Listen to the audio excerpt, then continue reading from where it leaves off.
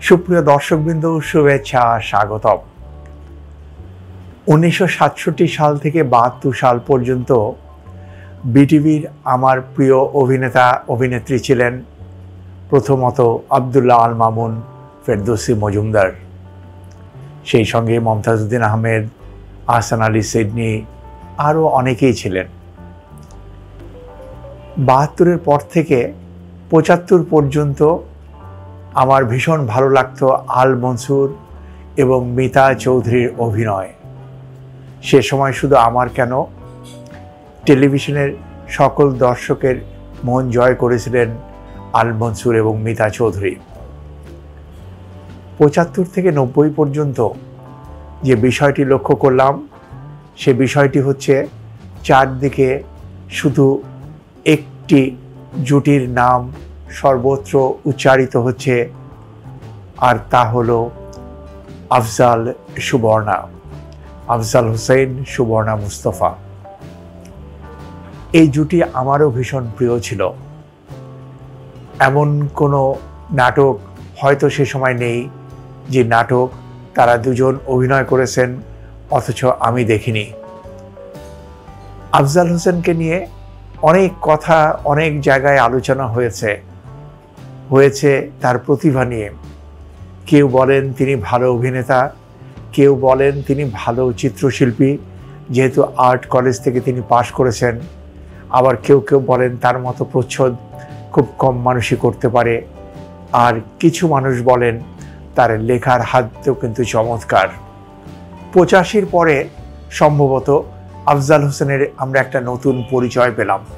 সেটা হচ্ছে তিনি বিজ্ঞাপন চিত্র নির্মাতা।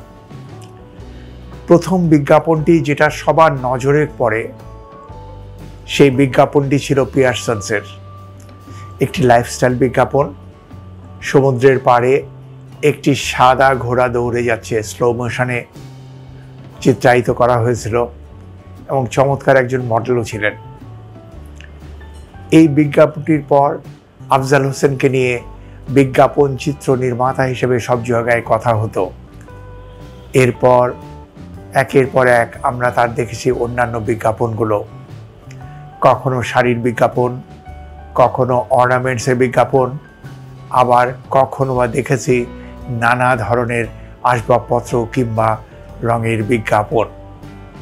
কখনো বা কোল্ড ক্রিম, ট্যালকম পাউডার অথবা শ্যাম্পুর বিজ্ঞাপন।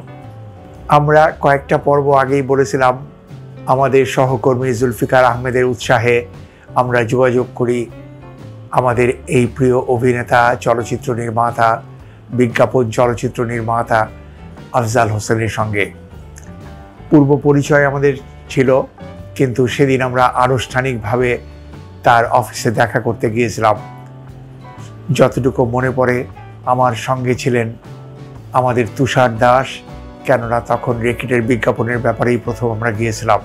আর স্বভাবতই ছিলেন জুলফিকার আহমেদ। যাই হোক, তারপর তিনি ডেটলের বিজ্ঞাপন করলেন, রবিন লিকুইড ব্লুর বিজ্ঞাপন করলেন, আরও পরে করলেন সোহাগ, এবং আস্তে আস্তে অনেক বিজ্ঞাপন। আমরা প্রথম যখন আফজাল হোসেনের কাছে যাই, তখন রেকিট অ্যান্ড কোলম্যান নিয়ে অনেক কথা হয়েছিল, কিন্তু এবার যাওয়া একটু ভিন্নভাবে, কেননা এই ক্লায়েন্টের প্রতি আফজাল হোসেনের নিজেরও যথেষ্ট আগ্রহ ছিল। একটি মজার ব্যাপার এখানে উল্লেখ করা হয়তো খুব একটা বেমানান হবে না।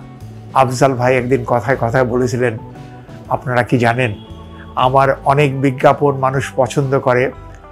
এটা ঠিক আছে, কিন্তু আপনাদের অনেক বিজ্ঞাপন, অর্থাৎ ফাইসন্সের অনেক বিজ্ঞাপন যখন টেলিভিশনে প্রচার হয়, আমার শুভানুধ্যায়ীরা মনে করে এটাও আমার তৈরি। আমি বললাম, ভালো তো। বলল যে, অবশ্যই ভালো। আমার ছবির মান এবং আপনাদের ছবির মান একই পর্যায়ে যাচ্ছে। এটা তো আমাদের যথেষ্ট আনন্দের বিষয়। যাই হোক আফজাল ভাইয়ের সঙ্গে কথা হলো আমাদের পেপস জেল টুথপেস্ট নিয়ে। মনোযোগ সহকারে শুনলেন। আমরা বললাম, আমাদের পরবর্তী বৈঠকটি হবে আমাদের অফিসে সেখানে থাকবেন ম্যাডাম গীতিয়ারা সাফিয়া চৌধুরী এবং ফয়সান্সের ডিভিশনাল হেড মুস্তাক আহমেদ সাহেব। একটু আগের কথা বলি, আমরা যখন সিদ্ধান্ত নিলাম পেপস জেল টুথপেস্টের বিজ্ঞাপন তৈরি হবে তখনই ম্যাডাম তাদের ব্রিফ অনুযায়ী যে চিন্তাটি মাথায় এনেছিলেন, সেটা হচ্ছে এটা অবশ্যই একটি ট্রেন্ডি বিজ্ঞাপন হতে হবে। সেই সঙ্গে ইয়াং টিনেজ জেনারেশনকে হাইলাইট করা হবে। যেহেতু সেই সময় চিলড্রেন টুথপেস্ট তৈরি হয়নি, সুতরাং এখানে কিছু ছেলে মেয়েও থাকবে, বাচ্চা ছেলে মেয়ে আর এটাকে মাথায় রেখেই ম্যাডাম চমৎকার একটি জিঙ্গল তৈরি করলেন। তিনি লিখে ফেললেন come on everybody smile smile পেপসিয়াল smile এবং এই ট্রেন্ডি বিজ্ঞাপনের শ্যুটটি তিনি চাইলেন বোম্বে থেকে করে আনার জন্য তার সেই প্রিয় জিঙ্গল মেকার লুই ব্যাংকের কাছ থেকে। বাবু ভাই আমাদের সব ছবির জিঙ্গলের কাজ করেন। বাবু ভাইয়ের সাথেও আলোচনা হলো। তিনি স্বাগত জানালেন। বললেন, নতুন একটি টেস্ট যদি পাওয়া যায়, মন্দ কি? ম্যাডাম চলে গেলেন বোম্বাই। সেখানে গান রেকর্ডিং হলো। টেলিফোনে আমাদেরকে জানালেন, চমৎকারভাবে সুর দিয়েছেন লুই ব্যাংক এবং কণ্ঠ দিয়েছেন আমাদের জানা সেই মেয়েটি যার নাম আলিশা। আলিশাকে পরবর্তী পর্যায়ে পাক ভারত উপমহাদেশের প্রায় সবাই চিনেছিল, তবে সেটি পেপস জেলের বিজ্ঞাপনের পর। আর তার সেই গানটি, যে গানটি নিয়ে তিনি সারা বিশ্বকে মাতিয়েছিলেন, সেটা হচ্ছে মেড ইন ইন্ডিয়া। গান চলে এলো, আবার আমরা বসলাম। খুবই পছন্দ হলো আফজাল সাহেবের এই জিঙ্গেলটি। আফজাল ভাই মূলত মিউজিককে পছন্দ করেন ভীষণভাবে। সুর, তাল, লয় তিনি লক্ষ্য করেন এবং সেই অনুযায়ী ছবির শর্ট ডিভিশনগুলো তিনি খুব চমৎকারভাবে মুন্সিয়ানার সাথে করেন। এই গানটি পেয়ে তিনি মেতে গেলেন আরও কিছু ভ্যালু অ্যাড করার জন্য। আমাদের স্ক্রিপ্ট আগেই রেডি ছিল। আর এবার আমাদের বিজ্ঞাপনের জন্য মডেলগুলো তৈরি করা হয়েছিল বেশ আগে থেকেই। বিজ্ঞাপনের প্রধান যিনি মডেল হলেন, তিনি হচ্ছেন সান পত্রিকার এডিটার আনোয়ার ইসলাম ববি ভাইয়ের মেয়ে। আমরিনের সঙ্গে আর যারা থাকলেন, তাদের একজন হচ্ছেন আমাদের সহকর্মী, তিনি মুনিজে। মুনিজে এখন সানবিমসের প্রধান কর্মকর্তা। এছাড়া আমরিনের বোন নওরিনও এই ছবিতে থাকলেন, সেই সঙ্গে থাকলেন আমার মেয়ে সুমাইয়া আর আমাদের মডেল কোঅর্ডিনেটর এক্সিকিউটিভ সাইফুল আলমের ছেলে শাহরান। যাই হোক শুটিংয়ের জন্য রিহার্সেল হলো বেশ কটা দিন। আমার এখনও মনে আছে জড়তা কাটানোর জন্য সুমাইয়াকে নিয়ে গ্রিন রোডের বাসায় একদিন গেলাম। সেখানে আফজাল ভাই এবং ভাবি মিলে তাকে অনেকটা স্বাভাবিক করার চেষ্টা করলেন। যথাসময়ে শুটিংয়ের প্রস্তুতি শেষ হলো। বিশাল সেট ফেলা হয়েছিল বাড়ি স্টুডিওতে। পুরো স্টুডিও জুড়ে শুধু একটি সেট, আর সেটি পেপস জেলের সেট। লাইটিং শেষ হয়ে গেল। আনোয়ার হোসেন বুলু ভাই আমাদের ক্যামেরাম্যান, আফজাল হোসেন এবং বুলু ভাই একসঙ্গে অনেক কাজ করেছেন। দুই বন্ধু, দুই ব্যবসায়িক পার্টনার, সেই সময় ইনফ্রেমের মালিক হচ্ছেন অনেকেই, তার মধ্যে আফজাল ভাই বুলু ভাই আমাদের সদরুল পাশা ভাই আসার নওয়াজ বাবু ভাই এবং খন্দকার আলমগীর ভাই। বাড়ি স্টুডিওতে পেপস জেলের এই সেটটি দেখে সবাই খুব অনুপ্রাণিত হয়েছিল। কেননা ভীষণ কালারফুল ছিল এই সেটটি, তাছাড়া নানা ধরনের মোটিভ এই মোটিভগুলো দেখে অনেকেই খুব অনুপ্রাণিত হলো, চিন্তা করছিল পরবর্তী পর্যায়ে হয়তো এই ধারাকে বজায় রেখে অন্য নতুন কিছু করা যায় কি না আমাদের মডেলদের দেখে সেটে যারা ছিলেন কলাকুশলীরা, লাইটম্যানরা এবং সেই বাড়ির স্টুডিওর কর্ণধারা সবাই খুব অবাক হলেন, বললেন, জিঙ্গেলটির সাথে এই মডেলদের যে মেকআপ গেট এবং তাদের যে মুখশ্রী চমৎকারভাবে মানিয়ে যাবে। ছবির শুটিং শুরু হলো। বুলু ভাই এবং আফজাল ভাই যথেষ্ট যত্নের সাথে পরিশ্রম করে নিখুঁতভাবে ছবিটি তৈরি করার চেষ্টা করলেন। আফজাল ভাইয়ের ছিল এটা ফাইসান্সের প্রথম ছবি। আর সেই সাথে অ্যাডকমের ছবি বলে তিনি আলাদাভাবেই গুরুত্ব দিতেন। ছবির শুটিং শেষ হলো, এডিটিং হলো। আমরা উন্মুখ হয়ে অপেক্ষা করলাম ফাইনাল ছবিটি দেখার জন্য। ইতিমধ্যে আফজাল ভাই বোম্বে থেকে ছবির গ্রাফিক্স ডিজাইন করে নিয়ে আসলেন। আর মুক্তি পেল আমাদের এই ছবিটি এবং সেই সময় বাংলাদেশ টেলিভিশনের একটা অন্যতম ভালো ছবি হিসেবে, জনপ্রিয় ছবি হিসেবে ইফেক্টিভ ছবি হিসেবে পেফজেলকে সবাই গণ্য করত। তবে আমার ধারণায় অ্যাডকম থেকে যত ছবি আমাদের সময় তৈরি হয়েছে, তার মধ্যে এই ছবিটি দ্বিতীয় সেরা ছবি।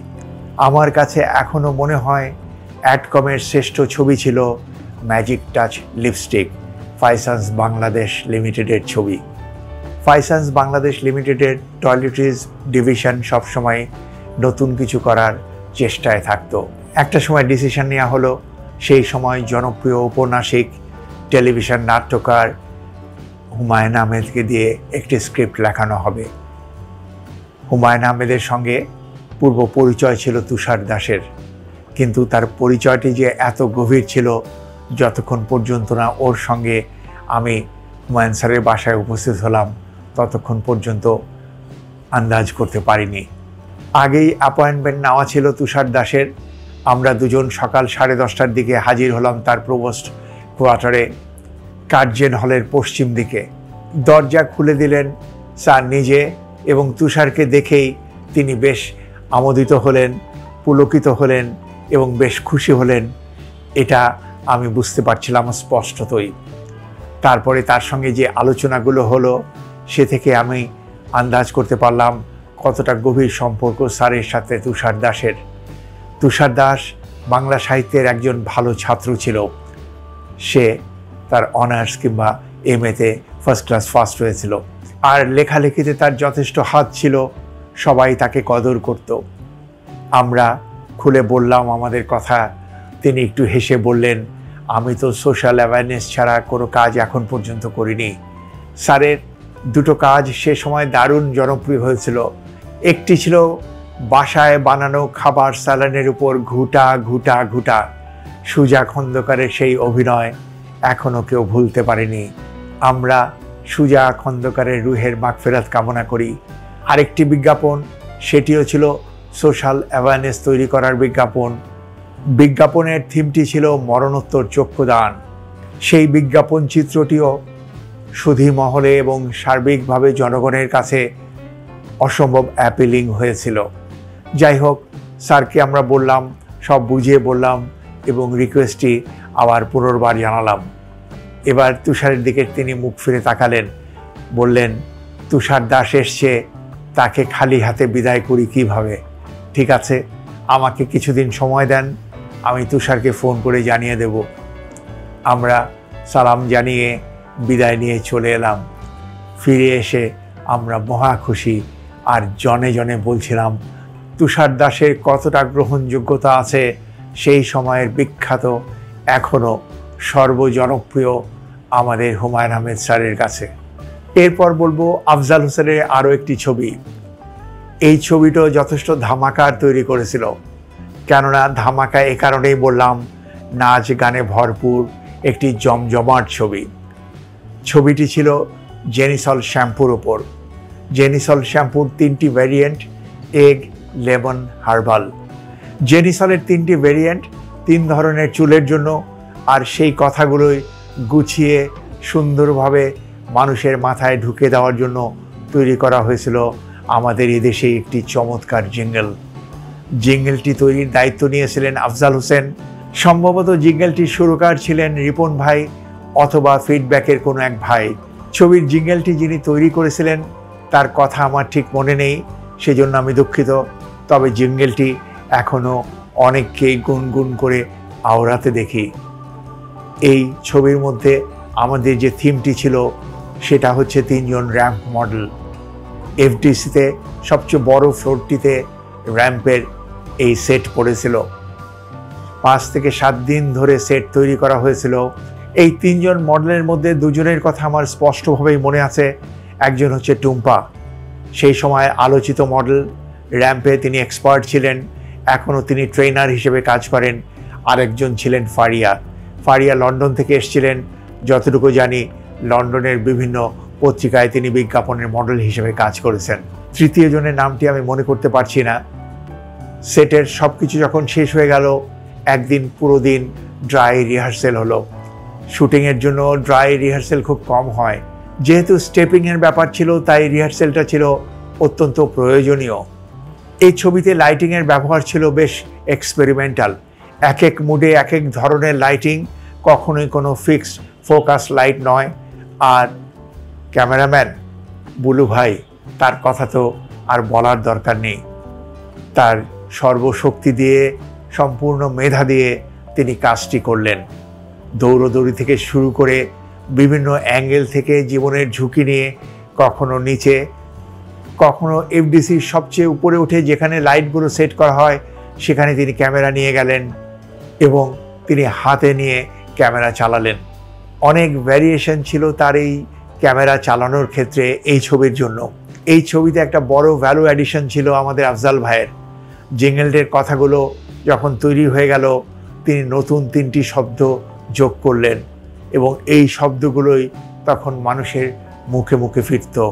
জাদু জানে জাদু জানে জাদু জানে জেনিসল তারপরে তিনটা ভ্যারিয়েন্টের কথা। মিউজিক যেমন হয়েছিল, যারা গান গেয়েছিলেন তারাও চমৎকার গেয়েছিলেন। আর শর্ট ডিভিশন তাদের এক্সপ্রেশন সর্বোপরি মেকারের কিছু নিজস্ব ভ্যালু অ্যাডিশন সব মিলিয়ে জেনিসল শ্যাম্পু তৈরি হলো আরেকটি মাইলস্টোন সুপ্রিয় দর্শকবৃন্দ, আজ এ পর্যন্তই। আগামীতে আবারও কথা হবে। সেই পর্যন্ত ভালো থাকুন, সুস্থ থাকুন, নিরাপদে থাকুন। সম্ভব হলে আমাদের এই চ্যানেলটিকে সাবস্ক্রাইব করুন। আর বন্ধু, প্রিয়জনদের করুন, prescribe.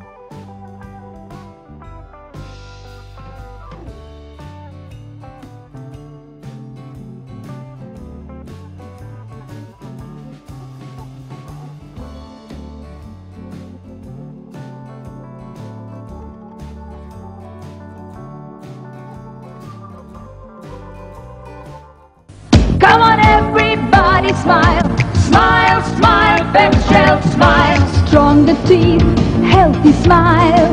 Peps Gel, Peps Gel, whiter teeth and lovely smile.